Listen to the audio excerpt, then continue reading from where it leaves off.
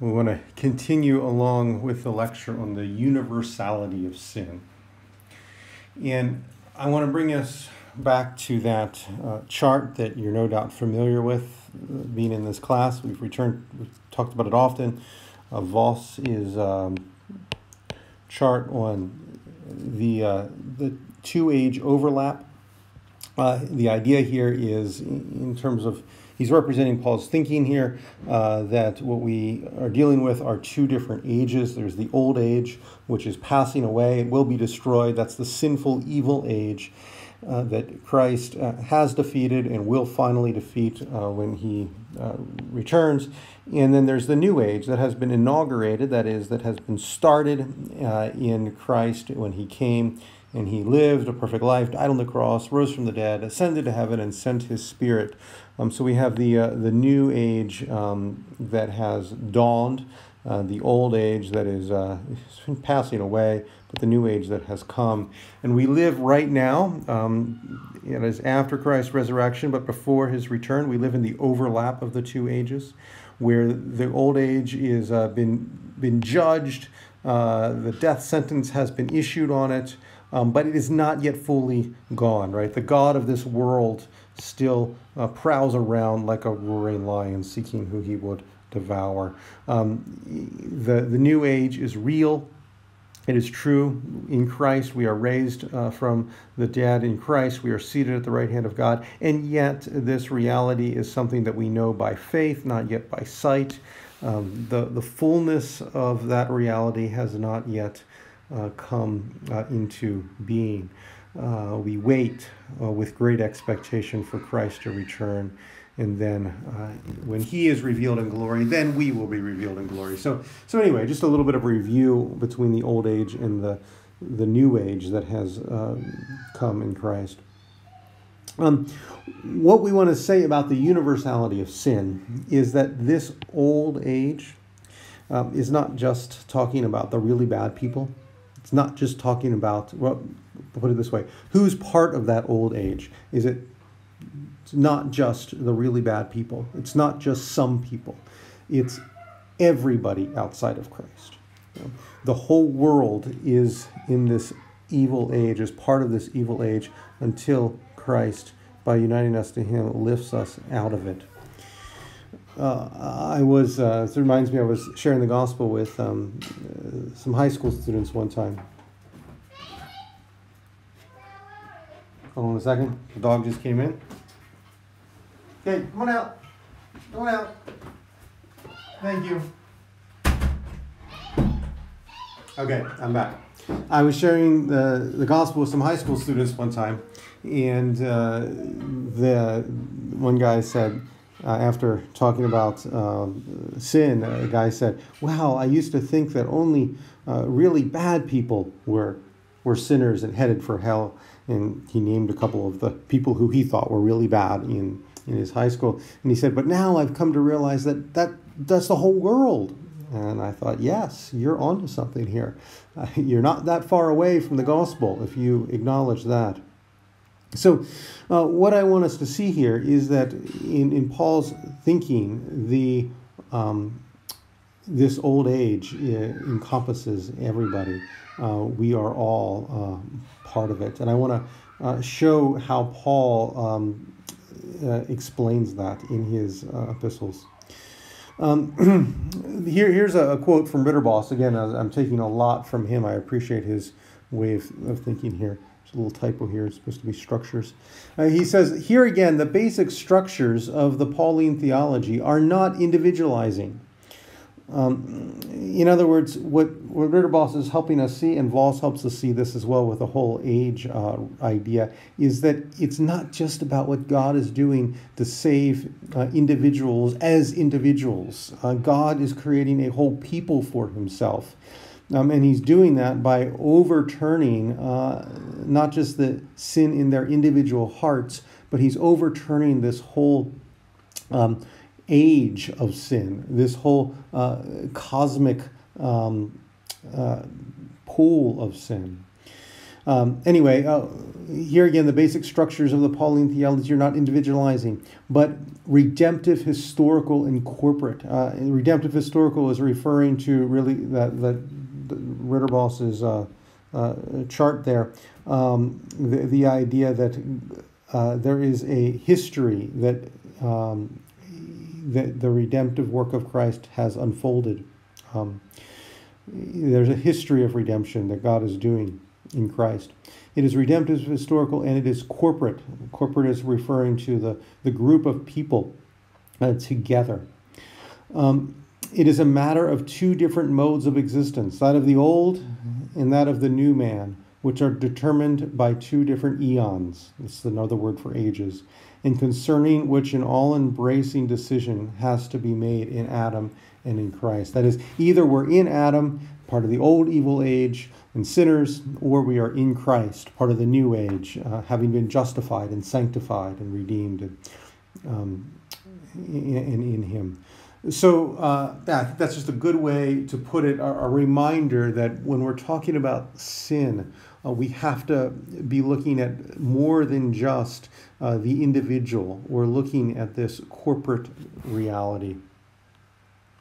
Now, I want to talk about the universality of sin by paying a lot of attention to the book of Romans. Uh, and to do that, let's just uh, look at the outline of Romans. Paul is uh, in the book of Romans uh, gives a, a, very clear outline here. It's a very uh, tight argument that Paul is making, and we can see the, that argument if we just look at the structure of how it works. So in verses uh, in chapter one uh, through verse seventeen of chapter one, that, that's the introduction. Paul is just you know he's saying, "Hey, I'm Paul, writing to you guys," and then he, he gives his thesis about how he's not ashamed of the gospel. We'll, we'll get back to that later. Um, really, the whole book of Romans then is talking about what this gospel is. Now, in order to talk about the gospel, though, he he turns uh, right away to the nature of sin. Um, in chapter 1 verse 18 right so right after he talks about how he's not ashamed of the gospel he then talks about how uh, the wrath of god is revealed against all um, uh, all unrighteousness um, and ungodliness of men who suppress the truth and unrighteousness we'll look at that section in just a second but here from you got to realize that from chapter 1 18 all the way through chapter 3 verse 20 that's three chapters in a book that's only 16 chapters long where Paul is talking about how we are sinners. Um, so, in order for Paul to talk about the glory that Christ brings us in his gospel, he first spends three chapters trying to explain that we are all sinners. And then from chapter 3, 21 to chapter 5, verse 21, um, Paul is explaining uh, justification. And then in 6 1 through the end of chapter 8, Paul is explaining sanctification. In justification and sanctification are really two ways, uh, two aspects, uh, rather, of the grace that Christ has brought us. Justification is the legal aspect about how we are declared um, to be righteous. We are uh, righteous legally, but then sanctification is about how we are made righteous. Um, how we actually become uh, holy, um, not just uh, before God um, because of our legal standing, but before we actually become holy. So, justification and sanctification are, are two aspects of the work of Christ, both for us and in us. And then in, in uh, chapters 9 through 11, Paul has to deal with a possible objection to his argument. Because, see, as he's talking about the faithfulness of God to bring up this salvation which God has promised, he has to deal with the fact that, well, what about the nation of Israel as a whole having rejected Christ? Um, what about that? Does that mean that God is unfaithful? And Paul answers that question. What about Israel? Does that mean that God is unfaithful? And Paul answers no. And then, you know, having explained um, the, the, sin and then the salvation that God brings to us in Christ, and then answering that objection, Paul then turns in uh, chapter 12, verse 1, to basically ask the question okay, how uh, shall we then live? In light of all of this, the sin that is, and then what is overcoming Christ, how do we then live? And then Paul has the, the famous verse about. Um, uh, not uh, being conformed to the world, but being transformed by the renewing of our mind, right? Presenting ourselves as living sacrifices before God. That's how we ought to live, um, presenting ourselves before God. Um, so anyway, that's the the argument uh, overall of Romans. For our uh, for our lecture today, we want to pay uh, close attention to this section here, where in the scope of this whole argument, Paul talks about how we are all sinners. Um, and uh, there's another place where the universality of sin shows up, which is in chapter 5. We'll touch on that as well. Paul has rhetorical reasons for separating that out, which we'll get to. But, but the, the main place for the universality of sin is right there in uh, chapters uh, 1, uh, 18 through 320. So, so here's what Paul says, um, chapter 1, verse 18.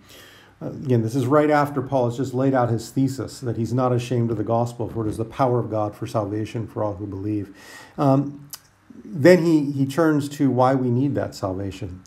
Uh, he says, For the wrath of God is revealed from heaven against all ungodliness and unrighteousness of men who, by their unrighteousness, suppress the truth.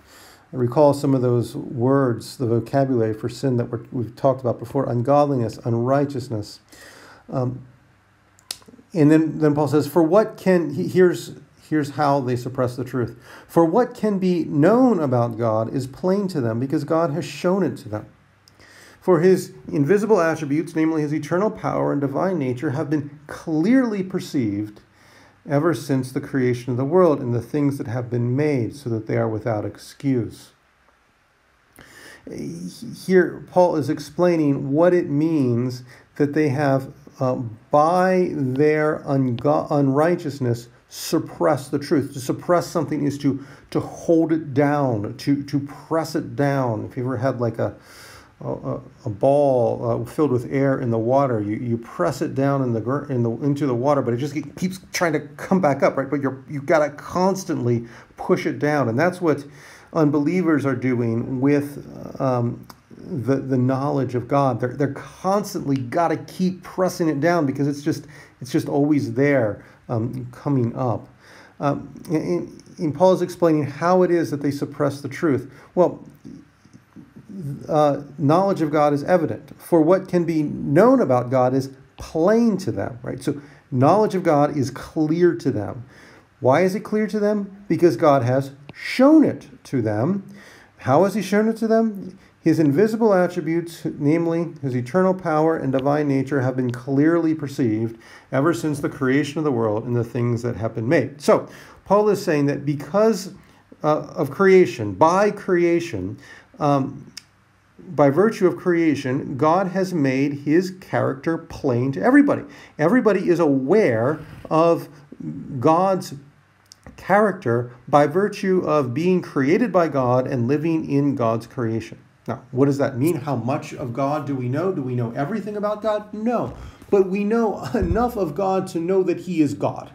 Uh, Scott Oliphint, a theologian uh, I appreciate, says that we know God's godness, His divine nature, the fact that He is the Lord of all. We know that by virtue of being made in God's creation. Now, do unbelievers walk around um, confessing God? Obviously not, right? People deny God all the time. Maybe they outwardly, they blatantly deny God by just saying He doesn't exist, or more often they just live as if there is no God, and that's kind of what God is getting at here. They do not acknowledge Him or give thanks.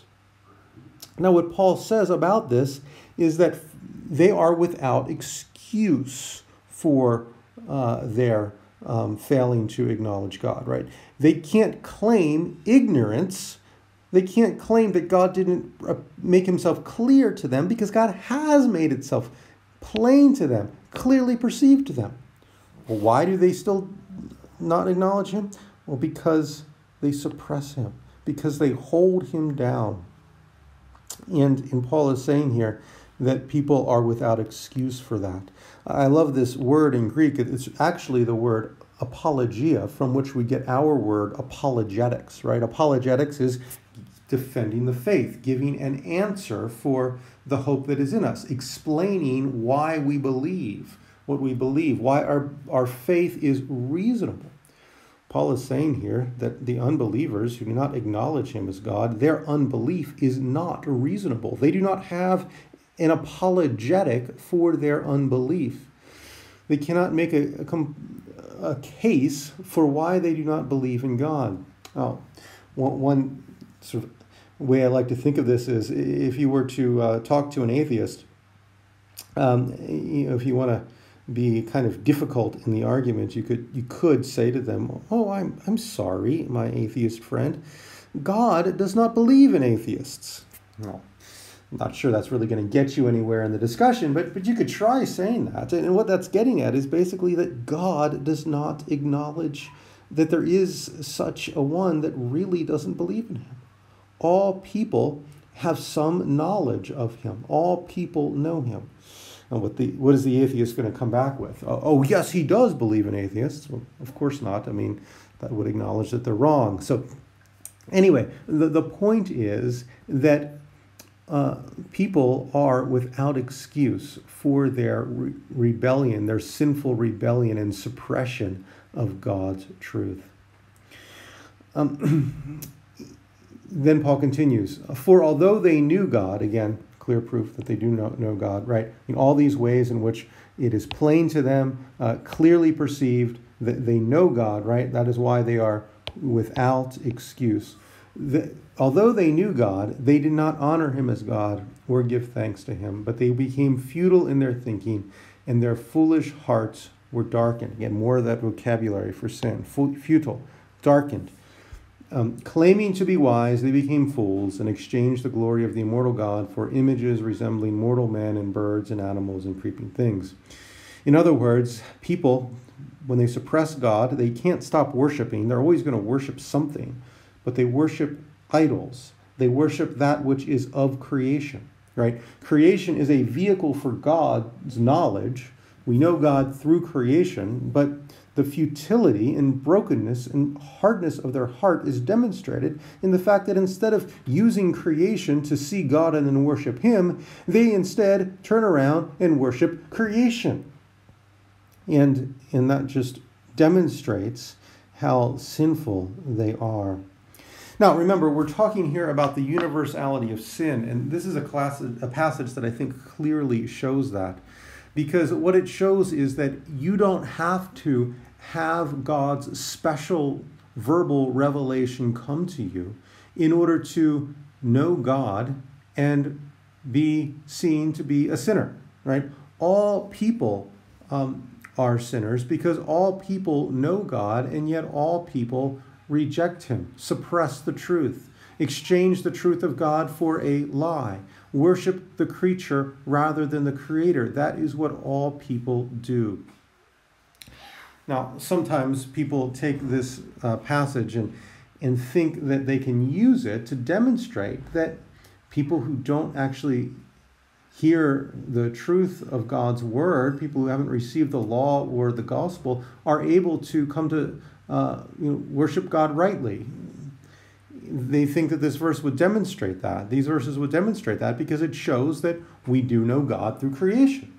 So is it possible then that based upon this passage we can we can construct a theology that says that you know somebody who's never heard of the gospel before can rightly um, worship God, be in a right relationship with God just through the things they see in creation? And, and the answer is most decisively no. And why is that?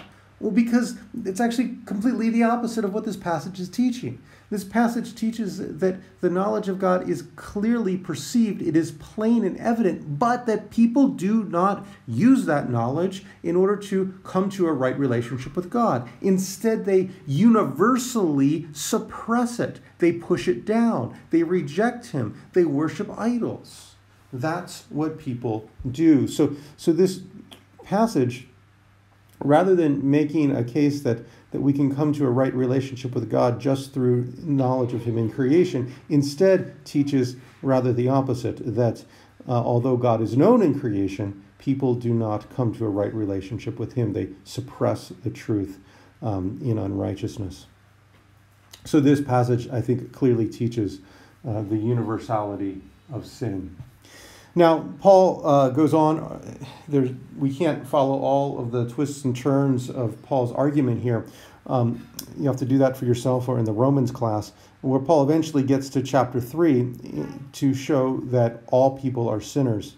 And after talking about how you know everybody is uh, is sinners because everybody are sinners because they don't acknowledge God in creation, he turns to the Jewish people in particular, and he talks about how they've received the law, and yet they have not obeyed the law. You see, the Jewish people would think that they are uh, okay before God. We'll talk more about this when we look at the law. But they would think they're okay with God before God because they have the law, as if merely having the law is going to somehow make them all right. And Paul shows very clearly that they have not obeyed the law. And just having the law by itself does not give you any merit. You, you actually have to obey it. And the Jewish people, all people, have not obeyed the law. And so the law does not do them any good, but actually stands as a witness for why they're sinners. So that's Paul's argument um, in chapter 2 and for the first part of chapter 3.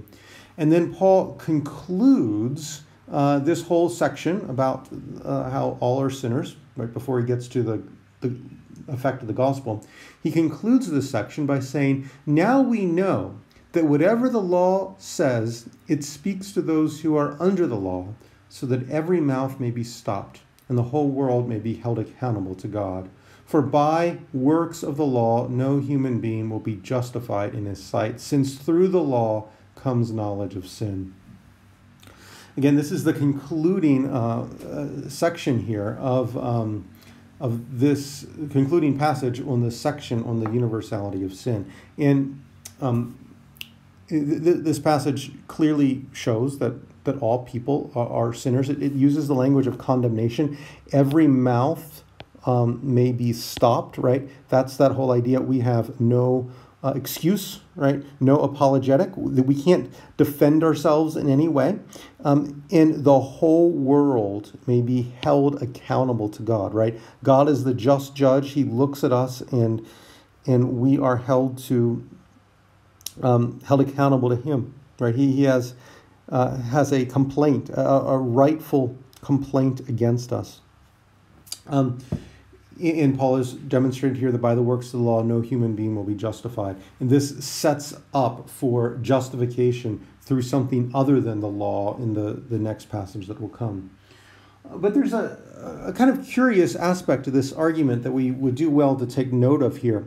And that is why Paul starts talking about the whole world um, in, this part of his argument. Because, as, as I said before, the first, so, so we have uh, 118, where he starts talking about the, the uh, universality of sin, to uh, 3, oops, 3, 19. And at first, he's using the language of the whole world, right? Because he's talking about the knowledge of God that comes through creation. But then he turns specifically to Israel and the law. Um, and he talks about how Israel uh, has failed to obey the law, and that shows that they are sinners. Why then does he then start talking about the whole world? Because it would seem like uh, he already talked about the whole world in the you know in, in uh, chapter one. Here now he's only talking about the nation of Israel. Why does he return to this uh, you know universal language here? How, uh, in other words, to put it another way, why does the failure of Israel to keep the law show that the whole world is accountable to God? You know, might seem like Paul has sort of lost the thread of his argument, right? He, he should be saying Israel is held accountable to God, but now he, he switches back to that universal uh, sense. Why does he do that there? Well, I think uh, it, it's kind of clear for us if we just realize how Paul is thinking about the nation of Israel. And uh, let me let me go back to our, our chart here. Um, this is uh, sort of some uh, amendments, uh, additions that I have made to uh, Vos's uh, chart here. I, I, don't think this would be at all counter to his point here, but I'm just trying to use that chart in, in a couple of different ways. Um, and, and, I want to just put chart Israel on that uh, the two age uh, overlap chart here. Um, if we look at the scope of, of redemptive history, or really covenant history of starting, you know, how God is relating to His people, we we could look at um, God's, uh, as some people say, three sons. Um, or, or, you know, in other language, the, the two Adams, and I'm going to say Adam also 1.5, which is Israel. So, so we start off with uh, God's son, Adam, right? And Adam is called God's son. Uh, he's Adam number one, and uh, and he and we're going to look in just a moment in chapter five of Romans. He is a representative of all the of human race, and it is his failure that plunges all of humanity down into this uh, sinful, evil age. Right before Adam failed, there was no evil age. Adam's failure is the start. Um, of this evil age in all uh, he is responsible for it. Um, we're all uh, part of it. Um, we'll talk more about that in just a minute. But but then we have, as we've already talked about, God's uh, Son, um, the Son of God, capital S right here, the Son of God, Adam, number two, the second Adam who lifts us out of that evil age. Um, but in between that, uh, right, in between Genesis 3 and um, you know, the New Testament, we have a whole lot of discussion about Israel. I'm not going to solve all the issues of how Israel relates to everything here. I just want to bring up two, uh, two, two, two things that I think are, are rather uncontroversial um, in terms of how Israel functions in Paul's theology. Uh, Israel is uh, well, is Israel part of the evil age or is Israel part of the age to come? Well, the answer is yes. the answer is both.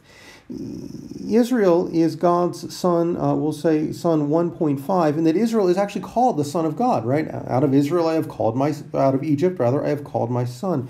Israel is called the son of God. Um, and Israel looks, points forward to Christ, right? Um, Christ comes out of Israel, right? There, there's the, the whole line, Matthew's genealogy. All, all Christ is connected to, to Israel clearly. Um, the, the prophets are all speaking about Christ. So Israel points to this future uh, age to come. In, but Israel also points to the old evil age because Israel uh, demonstrates what happens when uh, sinful people are given God's law. They rebel.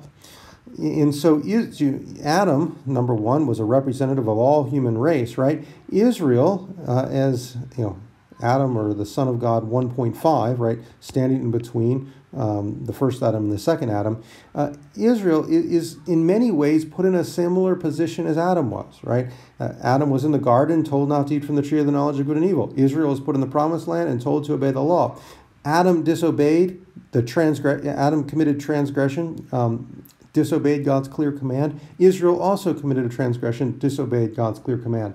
And just as Adam is a representative of God's human race, Israel kind of points in that way too, because Israel is an example of what a people will do when they have God's law. They will disobey it. So, you know, in that sense, the failure of Israel is what, uh, as Paul says, um, makes every mouth stopped, and the whole world is accountable to God. Because Israel shows that people, when confronted with God's good law, disobey it. So, in other words, uh, in multiple ways, Paul is demonstrating not just the sinfulness of Israel, he is demonstrating the sinfulness of all people. In other words, the universality of sin. Uh, now, as I said before, there's there's two ways in which the universality of sin is uh, oops back here is uh, is demonstrated in um, in Paul's theology, uh, in in, in uh, not in Paul's theology in Romans. Um, we have in, in the uh, uh, Romans. Um, you know, th- this whole section is demonstrating the universality of sin. But it also shows up again in chapter uh, 5, where Paul is talking about justification, where Paul wants to make a contrast between the way in which Adam plunges people into sin and Christ lifts people out into glory. Paul doesn't speak explicitly about Adam in this section. Um, if we uh, pay attention to the nuances of Paul's argument, I think we see it's pretty clear that uh, um, Paul is uh, Paul has Adam kind of lurking in the background, but he, Adam's not as explicit in that section. Um, Adam comes out more explicitly uh, when it gets to chapter 5, where Paul uh, contrasts Adam and Christ, and, and we, we, see that here. Um, Romans uh, chapter 5, uh, verse 12, Paul says, Therefore, just as sin came into the world through one man, and death spread, or sorry, and death through sin, so death spread to all men because all sinned. For sin indeed was in the world before the law was given, but sin is not counted where there is no law. Yet death reigned from Adam to Moses, even over those whose sinning was not like the transgression of Adam, who was a type of the one to come. Um, Paul is uh, contrasting that which uh, came through Adam and that which came through Christ. And um, both Adam and Christ are, are covenant heads. That is, they are representatives of all those who are in him. They don't stand, as, as theologians say, as private individuals, but they are representative heads. Uh, when Adam sinned, it wasn't that he just uh, got all these negative consequences for himself but he also got all these cons- negative consequences for all people. Um, all people are, Paul says, constituted sinners. They are made to be uh, seen as sinners uh, because of what Adam did. And uh, now there's lots of people who would claim, well, that's not fair. I think that objection is raised more so by uh, people in the West who are thinking much more individualistically. Um, I think if we pay attention to how life works, uh, we realize that life really doesn't work individualistically. That's just not how life works. Um, you, if you think about it, uh, we are all, as, as theologians would say, constituted along covenantal lines, which is to say, we're all part of something greater than ourselves. And um, for better or for worse, uh, our lot is cast with a, a greater reality. For instance, uh, say you're part of a nation and that nation goes to war with another nation, um, you don't necessarily need to give assent to uh, to the governmental leaders in order for you to be at war with another nation, right? You could be drafted into battle. You could um, you might be vulnerable uh, to an enemy attack.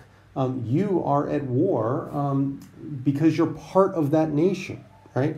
Now, obviously, if there's wicked, evil rulers and they make the decision to go to war foolishly, uh, that that's something that is wrong.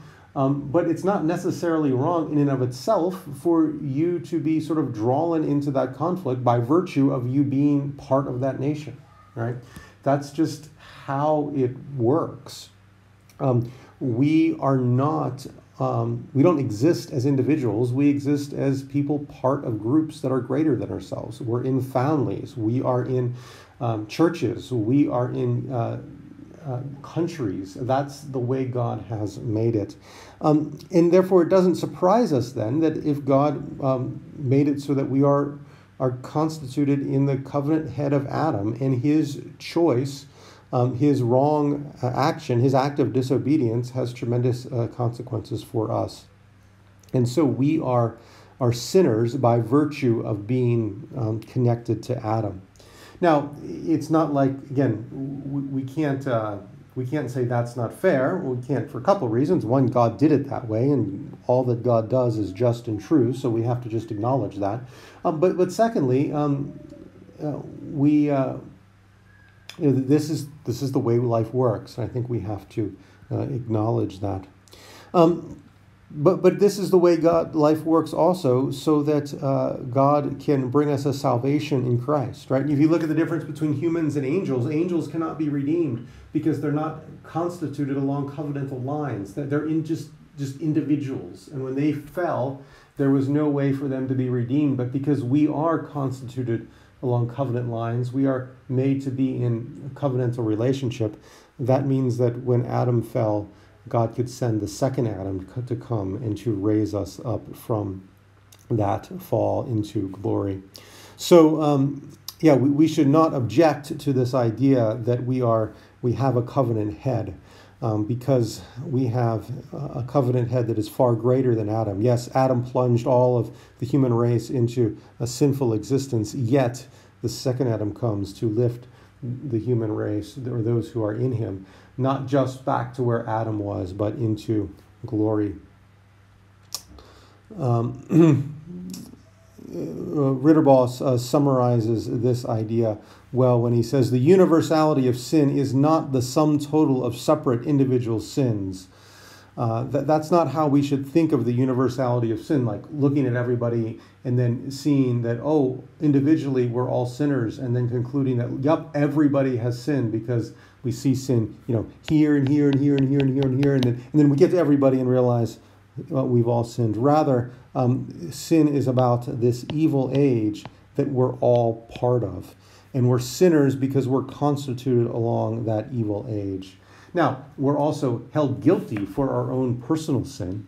And, and part of our sinfulness is seen in that we delight in this evil age. We, we want to be, um, in, in our sinfulness, we love that evil age and, and want to make that evil age as evil and pervasive as we possibly can. We, we want to be, um, you know, uh, representatives of that evil age and, and try to promulgate it as much as we can. And that shows our sinfulness too.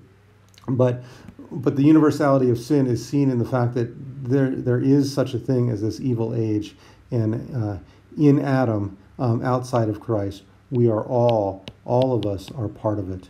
In other words, a sin. Um, uh, one way to put it here is that we are, are not uh, sinners because we sin, but we sin because we're sinners. We sin because we are part of this evil age and that is our nature. We are constituted in that age, and our sin uh, springs up from that.